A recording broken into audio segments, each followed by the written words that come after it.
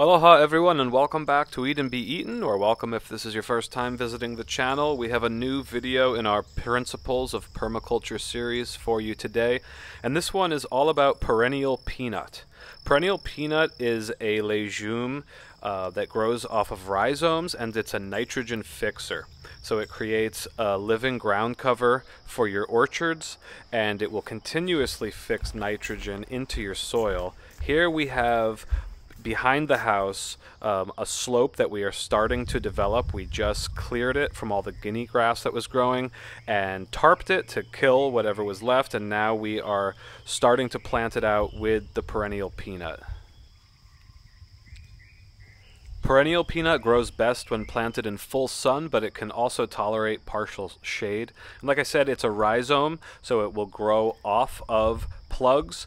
Best to space them 6 to 12 inches apart to enable them to take over an area and create a, a, full ground cover so that you won't have grass growing up throughout and trying to outcompete the peanut. Another useful tip is to plant your peanut in cinder. The cinder will aerate the soil and it also creates a slow release of nutrients to feed the peanut. So here I am planting in the perennial peanut. I got the pots here. You can see I'm starting to get it into the ground there. So I'm just digging it in, planting the roots. Then I'm going to spread some cinder throughout it, and that's going to increase the porousness. Uh, I'm going to water it thoroughly, and we should be good. As long as it has plenty of water, the perennial peanut should do well.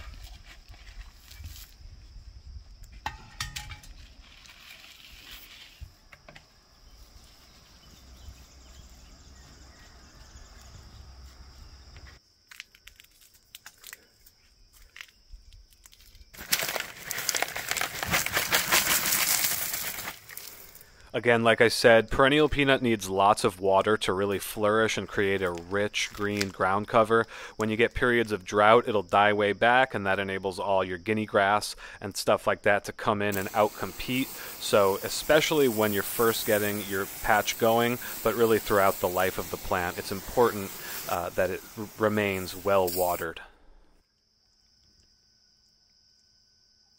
Here you can see a Hawaiian chili pepper bush growing and the chilies on the ground that reseed themselves and you can see the volunteer chili pepper plants popping up along the edge here.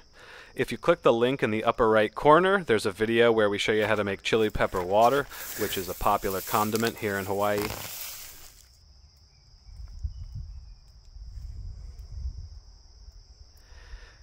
And finally, after about four weeks of heavy rain, you can see the perennial peanut has taken over, created a lush green ground cover. So like I said, with lots of rain, full or partial sun, and especially good tip, plant into cinder, your perennial peanut is going to do really well. Create a nitrogen fixing ground cover for your orchards or around your house. And that is the latest in our Principles of Permaculture series. Let us know in the comments below what you thought of this video, what you'd like to see next in our Principles of Permaculture series. And because I just mentioned some volunteers growing along the edge, I'm going to leave you with a video from a few years ago all about the edge effect working in this same area along the house. So enjoy that, and we'll see you next time. Aloha! Okay, welcome to Eat and Be Eaten's Principles of Permaculture series. Today we are talking about defining the edge effect. If you hit the link up in the corner, you can see the playlist of all our videos in the series. We do Gliricidia, uh, Chop and Drop, Living Mulch, stuff like that. So now talking about the edge effect, it starts with observing nature where edges meet. This tends to be places like gulches where a forest meets a grassland and a rocky outcrop and especially where we are here in Hawaii, where the ocean meets the land. And these tend to be areas of profusions and diversity of life. And so basically what you're trying to do is take this principle and apply it to your permaculture design to try to replicate this uh, profusion and diversity of species and circumstances. And so what I'm going to do today is show you a real brief uh, illustration of this growing where our lanai, our porch, meets the stairs. We have all these ferns growing out, which is just lovely for keeping it cool, and it's really just beautiful to look at, so we like that. But then right around the corner, um, at the edge of, at the bottom of the stairs, where water accumulates and moisture accumulates, we have just a papaya tree coming up, a volunteer. We didn't even plant it, but it just sprouted up from a seed from who knows where. Um, and so we also have a few other things going, but um, and also right next to it we have plantain grass, which is an edible grass and medicinal, and that's growing right in the edge between the stair, um, the the house and the driveway. And then also out of that moisture we have a vanilla vine growing, and we have that edging all along the house, which is really super cool.